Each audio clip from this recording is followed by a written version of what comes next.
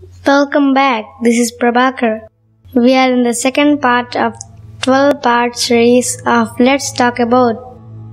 In this video, we'll talk about shopping etiquette. It's Sunday shopping time, said Hope excitedly. You know it's best to have a ready list of things you need to buy, Dad reminded. Hope had a nice lunch so that she won't feel hungry while shopping. Her list too was ready. Soon she was at the mall. The first thing she needed to buy was a dress.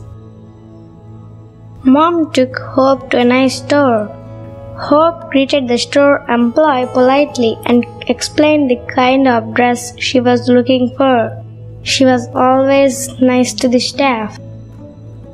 Hope thanked the store employee for helping her. She went on to try the dresses in the fitting room. She made sure that she followed all the rules of the fitting room. Hope was happy to have found a good dress. She appreciated the employee who helped her to make a nice choice. While leaving the store, Hope noticed a nice pair of shoes. You just bought a pair last month, Dad reminded her. Do you really need them? No, said Hope. Mom had taught her not to buy unnecessary things or throw tantrums.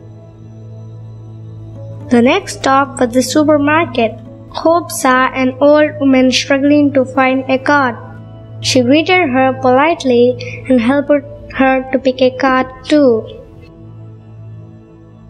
Mom appreciated Hope for being kind. Suddenly, Hope's phone rang. She knew it isn't nice to be on the phone while shopping, so she told her friend that she'll call later. Hope patiently waited for mom and dad to finish shopping. While checking out a cereal box, she came across Toby, her classmate, and two began talking. Kids, don't stand near the racks for too long. Mom reminded Hope. The woman had been waiting for Hope to move from the cereal box easel. Hope apologized and moved from there. Let's get to the fruits and vegetables section.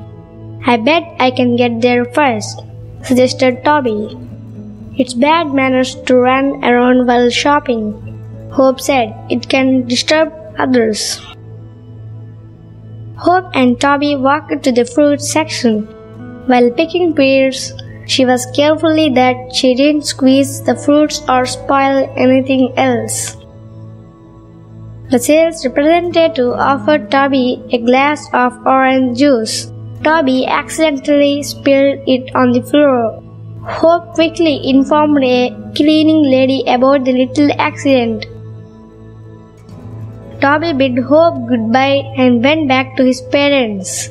Hope too caught up with mom and dad. They waited patiently in the billing queue.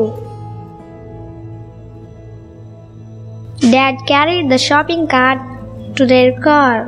Hope helped mom load the groceries. Then she pushed the cart to a safe place and got into the car. On returning home, Hope helped mom and dad to put away the groceries. Since she was good while shopping, dad surprised her with a new toy. It was really a nice Sunday. Thanks for watching.